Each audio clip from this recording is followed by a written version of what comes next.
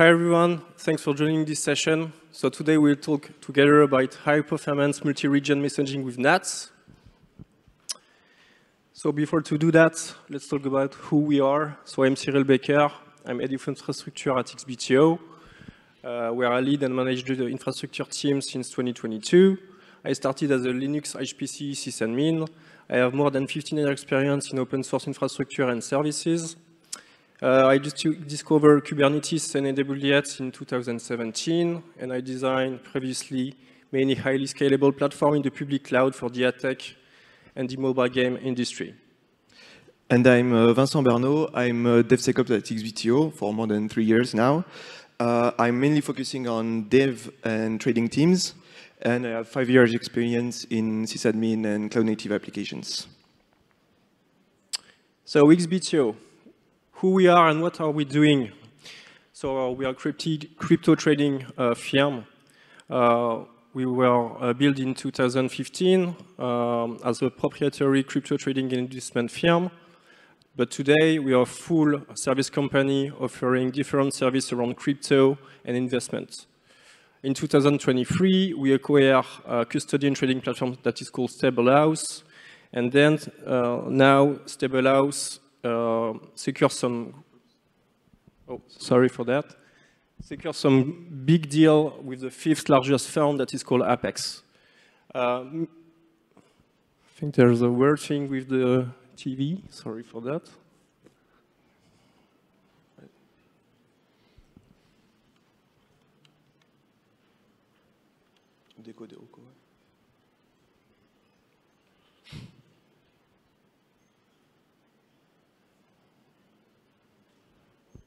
Should be good.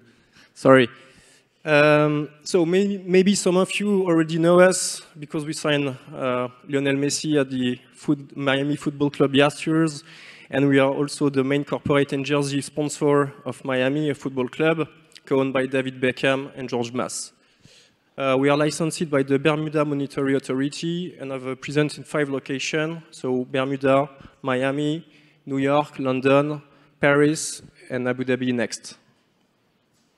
So what about the agenda? First, we'll present our needs uh, and why we uh, choose NATS. Then we'll present quickly NATS for those of you who do, not know the, um, the technology. Then we'll deep dive into the platform and the architecture and the change we faced.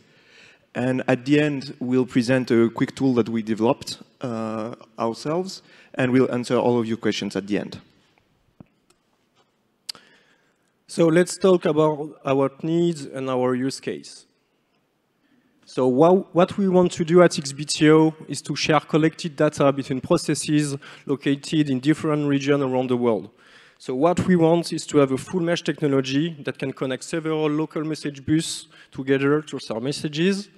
We want also uh, something that have clustering technology to have redundancy and availability, something stateless, that do not require to writing to disk and that store all the data in memory. Something secure with modern authentication, authorization, and multi-tenancy. And also something really scalable, okay? That allow to ingest a big quantity of message that will increase over time without changing our current architecture. So let's talk about NATS. So how many of you are already familiar with NATS? Okay, nice. and now, how many of you are using NATS in production in your current company? Great. So, a quick intro on NATS for those that are not familiar with this tech. So what's NATS? NATS is a simple, secure, and high-performance open-source messaging system built for the cloud and microservice uh, architecture. It is available since 2011. It's used by top major companies all around the world. It's written in Go, so it's cross-platform. There are multiple client library available for most languages, and its core design principle uh, is performance or performance and scalability. And it's developed mainly by Synadia that provide multiple uh, different type of service around NATS and also some support. So why it's cool and why it's great. There are multiple uh, advanced features included in that, but we will focus on four great advanced features. The first two features are linked together. The first great feature is the supercluster. So what's a supercluster? A supercluster is a set of uh, is a set of clusters, sorry, that have gateway connection established between them. This means that, for example, if a client uh, connected to cluster A want to subscribe to uh, messages uh, that is hosted in a cluster B, this will be possible seamlessly. Messages will transparently flow across all clusters without the client needing to have any knowledge of the physical location. So let's say, for example, you have three different local uh, message bus uh, split in three different regions, you will be able to connect a supercluster with all these clusters connected together. For doing that, the supercluster is using the gateway. So what's a gateway? A gateway enables connecting one or more clusters together into a full mesh network. So this allows the formation of superclusters. Gateway exists to reduce the number of connections required between servers and optimize the interest graph propagation. Another great feature that is included in NATS is the leaf node. So the leaf node extends any existing system of any size and optionally, sorry, bridging both operator and security domain. A leaf node will transparently route messages from local clients to one or more or remote NATS system and vice versa. And the last one is the monitoring. So what's great with NATS is that you have a built-in HTTP server that can provide some JSON endpoint. So this is really cool if you want to scrap some metrics with Prometheus or something else. Now let's talk about our architecture and platform at XBTO a few metrics uh, from about NATS at XBTO. So currently we have 100, uh, more than 100 nodes, uh, 34 clusters, five superclusters, four leaf nodes, more than 5,000 uh, clients.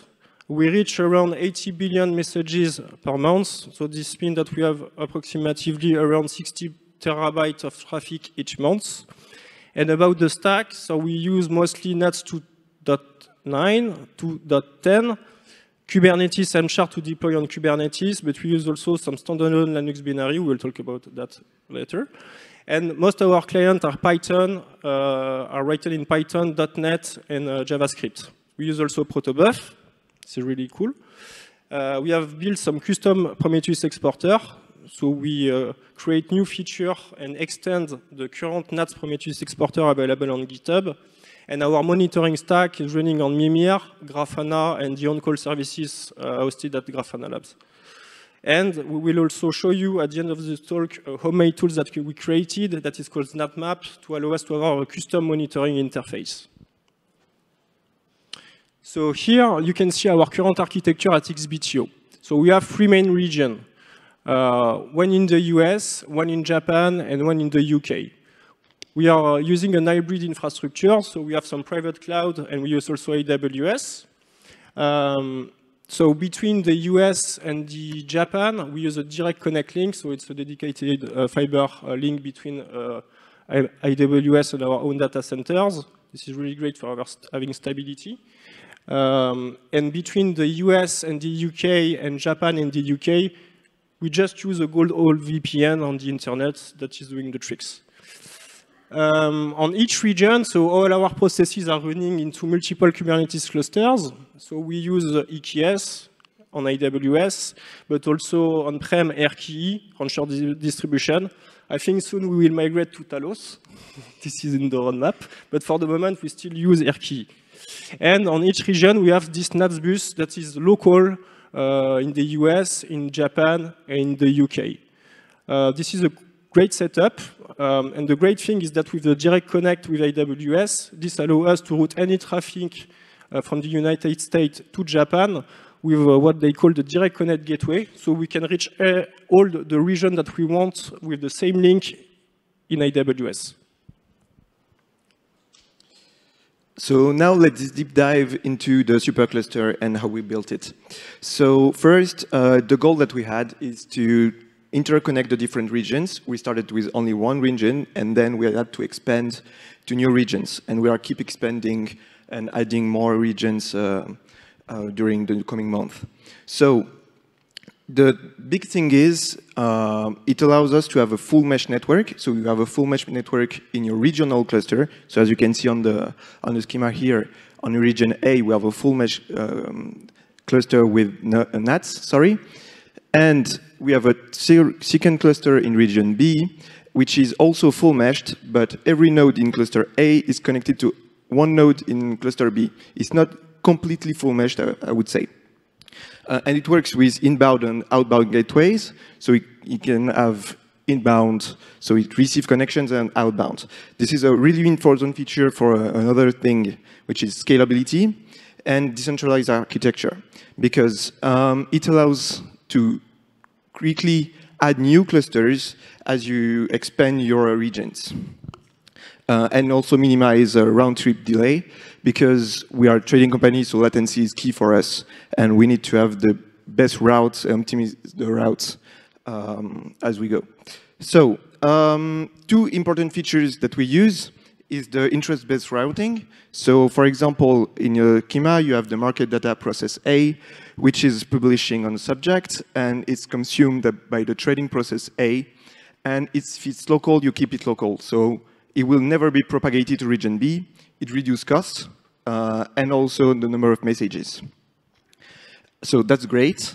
But if you need to exchange messages from process C to the trading process C, which is on another region, it will be completely transparent. You won't have to even know on which cluster your process is um, deployed. It will be fully transparent. And at the end, uh, the gossiping. So the gossiping is a really interesting feature in NATS where you can dynamically update your cluster without any interaction. Meaning, if we want to add a region C in this setup, we would just have to put in the config of the new cluster at least one node of cluster A of cluster B, and you will have a full setup which will connect to every cluster and nothing to change in cluster B or cluster A. So that's really great for us. Now let's talk about one of our supercluster. So we have five of them like this, and uh, we have also other smaller cluster, but this is the main one. So we use EC2s to run on AWS. We'll dive into this later. Uh, we have a bunch of processes on Kubernetes, so EKS on AWS. And on-prem, we have also processes on Kubernetes. We have some time series database that are also connected to NATS uh, using other clients. We have standalone processes. So we have really a lot of processes with different stack, different clients that are connected to the same infrastructure and communicate easily between the regions um, to build really a decentralized architecture. So if we lose, I don't know, region B, it will still be functional. So let's talk about the monitoring now. So how do we monitor everything? Um, so one thing that is really important for us is if we are, have an issue on one Discord region, to be able to see what happened and continue to monitor the other one. So we decided to set up our monitoring platform outside the current production infrastructure. So for doing that, we use a, Mimir, self-hosted. Uh, we deploy that into two different providers, so in two different countries. So in America, in Canada, in North America, and in Europe, in Germany. Uh, we just use some single instances, uh, some so really high CPUs and memory uh, with fast local SSD storage, um, we use also K3s for doing that because we wanted to stay in the Kubernetes ecosystem because it's easier for us to deploy Mimir, to maintain the lifecycle, uh, this type of things. Um, and on each node, we have um, a local MinIO object storage. So we have great I.O. to write on, uh, on, uh, on, uh, on the object storage locally the data from Mimir. Uh, on this platform, so it's not just for NATS, we reach uh, 5 million active metrics. So this means that we ingest around 90,000 uh, metrics on the, ingest, on the in ingress controller that reach the Mimir API. And also we decided to use Mimir because maybe some of you know that this is maintained by Grafana Lab. It was uh, called Cortex a few years ago. They rebuilt that. So if Grafana Lab is using that for their customer, I think it can scale really uh, well for our use case. Um, now, how do we collect the data from each NATS bus? So as I said previously, if you remember, we have this uh, JSON endpoint uh, with the NATS metrics that is, is available inside NATS. So for doing that, we use our uh, custom Prometheus exporter uh, with advanced feature that scrap the data on the JSON page to get the metrics. And then we just use Grafana agent so, uh, to scrap the data from the Prometheus exporter and push it back to Mimir, to the Mimir API with the Prometheus uh, remote write features. Um, why we use Grafana agent and not just uh, a big Prometheus server that scrap the data from the Prometheus exporter is because Grafana agent is a small Prometheus, uh, so it's really light. It's uh, for our use it's better. So we have this agent on each node. It doesn't require to have the big Prometheus server uh, where we need you need redundancy to have at least uh, two replica if you have a failure, this type of things. So this is really great. Um, and for visualization and alerting, uh, so we don't want to care about maintaining our own Grafana. Okay, the guys at Grafana Labs are doing a great job. They uh, create advanced features that are only available on the Grafana Lab platform. So we use Grafana hosted as a SaaS version at Grafana Lab uh, to visualize and create some alerts. And also we use uh, a great service that is called OnCall. So uh, for emergency alert and critical alerts that can send some SMS or you can have also a bot that call you if there is an emergency on the system. And the last great feature that the guys from Grafana Lab are providing is the synthetic monitoring. Um, so basically, it's like the Prometheus black box, okay, that is officially available on GitHub. The only difference is this, with this uh, version from Grafana Lab, you can create all the configuration on the portal, okay, on the web UI. So let's say that I, want to check uh, uh, something. So synthetic monitoring is doing is mostly uh, using uh, used sorry for doing some uh, prop checking. So I just have to go to the Grafana portal, say, okay, uh, I want to pick this probe. So you can set up your own probe, or you can use also some probe provided by Grafana. So this is really great all around the world.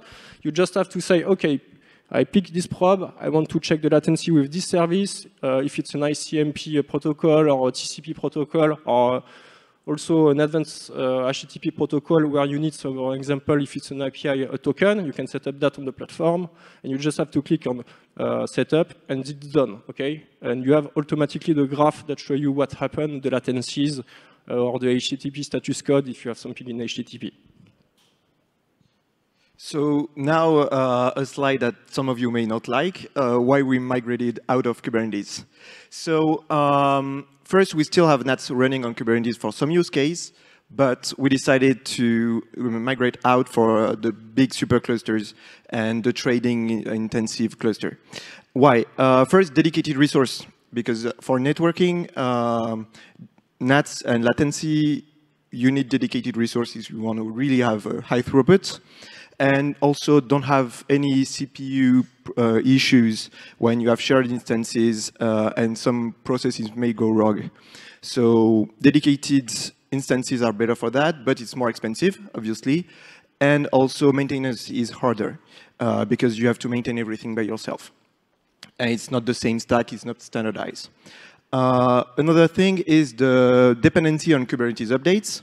So we are using EKS, which has a life cycle uh, and a release cycle. And for us, uh, we have some issues with event deconnections. So we need to have the NATS bus running for months, years. We have without any disconnections uh, also. So when EKS forces us to update, it creates downtimes, and we obviously don't want to do that for some kinds of clusters. So that's why also we migrated out. But it's also a harder lifecycle management because you have to do everything by yourself. And the end, and for tuning, uh, it's also simpler in networking because uh, you don't have the Kubernetes overhead, which is small, I admit, but it's still there. Um, it's easier to identify NATS traffic uh, because you have dedicated instances, so you can directly know what traffic is going out and in. And one thing that was really difficult for us out here at some point was the load balancer.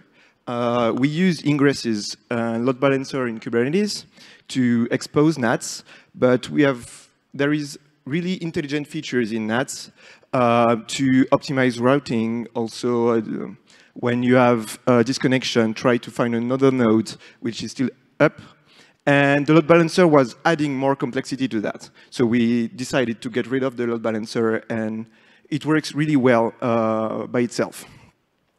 Uh, and last, last point, which is also more difficult, is the configuration management, because we had to create custom tooling, uh, Ansible, Terraform, and all that stuff to ensure that you have the same configuration all time in all of your nodes.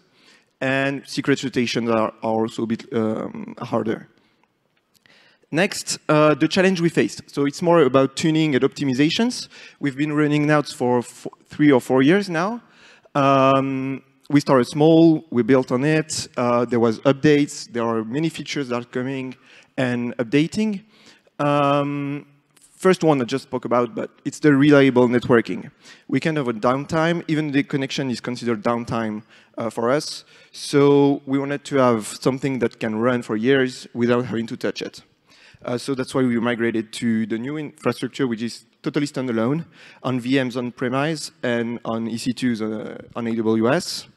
Uh, and we only rely on NATs for routing optimizations and um, and everything related to network. Uh, basically, it's running on Docker, and we have host networking. So we really try to have the simpler networking possible. Um, second point was scalability. We started with only one cluster, then we expanded to a new region. We are expanding uh, to a third region, and now we will expand to a fourth region soon. So we really want to have something scalable where you can dynamically grow without downtime. Uh, for that, some of you may know, you cannot out-reload the routes and the gateway configurations. So you have to reload the NATS uh, binary when you want to update th those configs. Um, so it's kind of disruptive for us.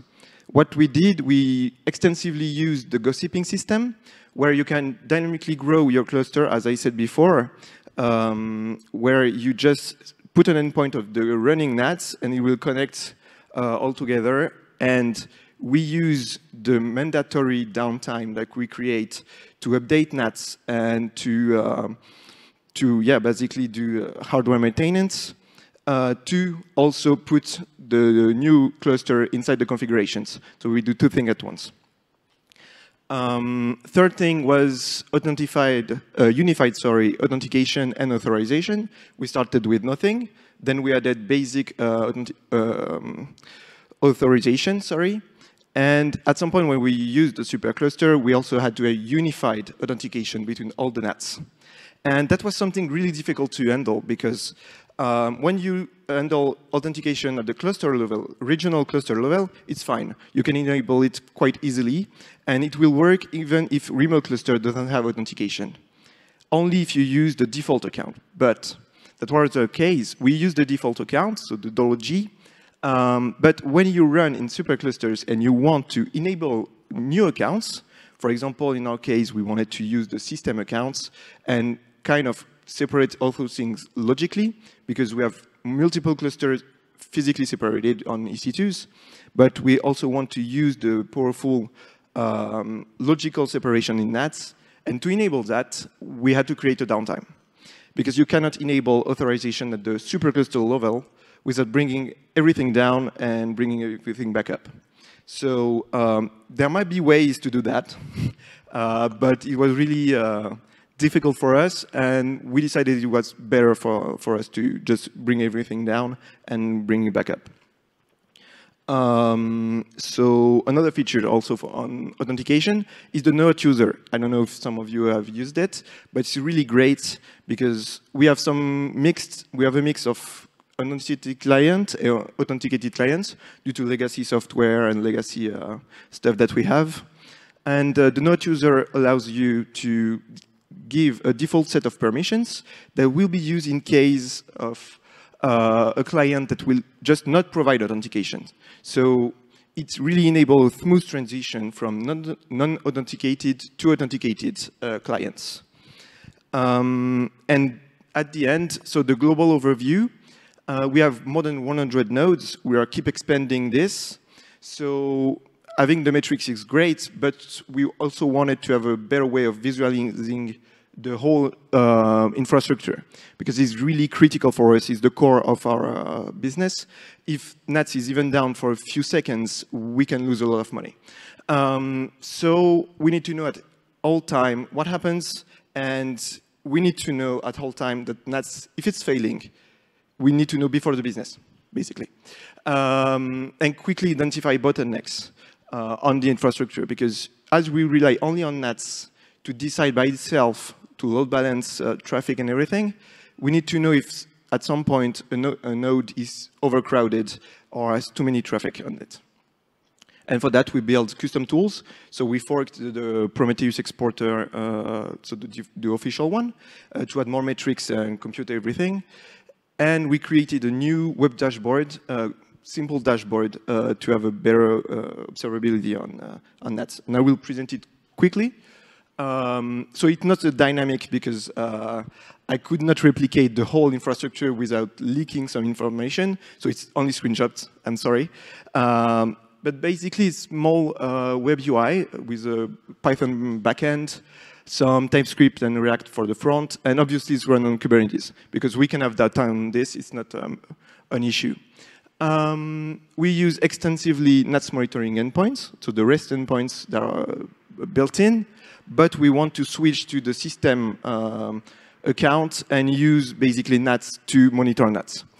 Um, it's used for the infra team and the developers. At infra, basically, we use it to monitor the infra, and the developers are using it to know at all, at all point um, in their processes where are they connected to, what are the subscriptions, and the number of messages also that are uh, going through.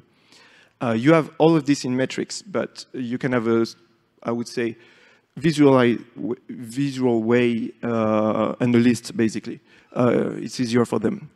Uh, so yeah, that's it for, for the NATS map. So we built a graph. So it's one of our clusters. You can see all three dots are regional clusters that are connected to uh, the others. Um, oops. Okay, great. Uh, so yeah, this is not dynamic on, on the screen, but if you click on a node, basically you will have a list and uh, an overview of the other nodes that are connected. It's really, really great for us when we need to do some maintenance. We can, we can know beforehand which nodes are connected to this one. And when we reboot, we can know dynamically on which node it will reconnect, because it's not uh, something that uh, we, we can predict. Uh, so that's really great on this part uh, to really uh, identify this. Oh, ju just one thing. What you don't see here is that you can zoom out and zoom in oh, yeah. also to see, um, for example, here what happened between these three local buses. So it's really, really cool. Yeah, this is really a big overview, but you can have more details uh, on this. And basically, this one is just a list, but you have really many, many details on the details page that I cannot present today. Uh, but it's really useful for us to have a, an overview of all of the nodes, all of our buses, and everything running there. Um, so it's really, really simple, uh, but it does the job right now. So now let's Cyril uh, conclude.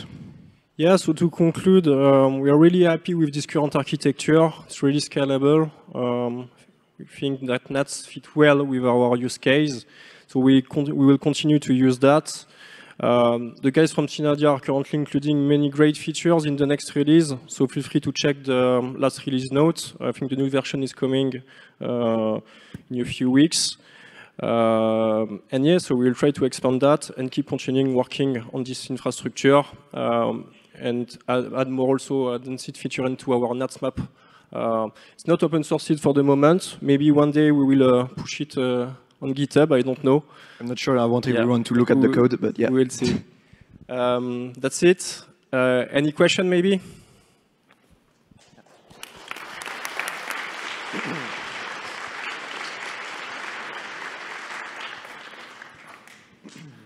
Uh, hi, I'm just curious why you chose to go stateless and in memory and not on disk.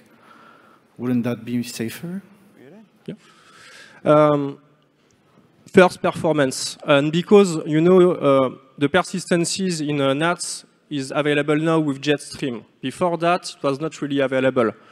So when we decided to build this architecture, what we wanted to have is just full performance. And because we have three replica on each region, we doesn't really need persistency because if one if a failure is happening, we still have on one uh, bus, for example, we still have the two other ones that are running. Okay, so it's why we decided to go stateless for performance and because Jetstream was not available uh, before. Yeah, and basically for the training processes, uh, it, it, needs to go fast. Like we have reconciliation built in the trading uh, platform, but it needs to go fast. Even if the message is not delivered, it will be delivered again, but it needs to go fast, and we don't want to have writing to disk uh, for that? No, I think we will stay stateless. We will continue to stay uh, stateless. Um, it's much better for us uh, because it's a really specific um, trading use case, you know. Uh, on other services, on other uh, at XBTO, we use persistencies. We start using Jetstream. Uh, we still have one old Kafka cluster for another uh, project, but maybe we will replace Kafka with Jetstream uh, in the future for this project. Yeah, it's mainly for the trading part where we don't have Jetstream, but we use NATS and Jetstream for other specific use cases. Do you have some uh, latency metrics within your supercluster? Be between uh, between each uh, region that created the supercluster. Yes.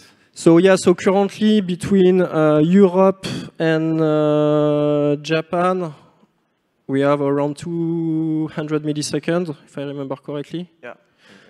Yeah, we, we, we currently we're working on a new project to increase that, to lower that. We will use a new uh, global provider network, a private one. So we will uh, achieve uh, around 100 milliseconds between the Europe and Japan. And between uh, the US and UK, uh, I don't remember, it's around 80. Yeah, something like that, yes. Yeah, something like that, 80. But, you know, um, between the US and Japan, what's great is that we have the direct connect link. So we use the internal backbone of AWS to route everything.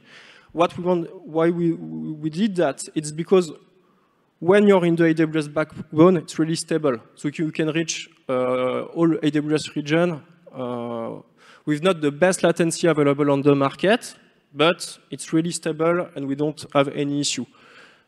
Yeah, and that's from the infrastructure part. But where the processes are um, the most latency sensitive, usually they use the same region. We put everything in the same region, and uh, so regional clusters are really latency sensitive.